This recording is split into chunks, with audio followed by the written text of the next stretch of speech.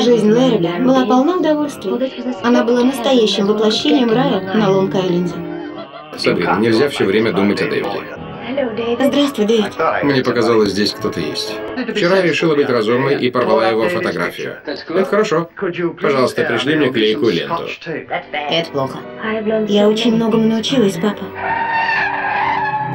Здравствуйте. Как поживаете? Это Сабрина. Поразительная перемена. Ты смог бы ее узнать? Сабрина, Дэвид помолвлен. Он снова женится. Замечательный прием. Теперь да. Лайнус, только ты один способен меня понять. Классика Голливуда. Еще один шедевр от создателей в джазе только девушки.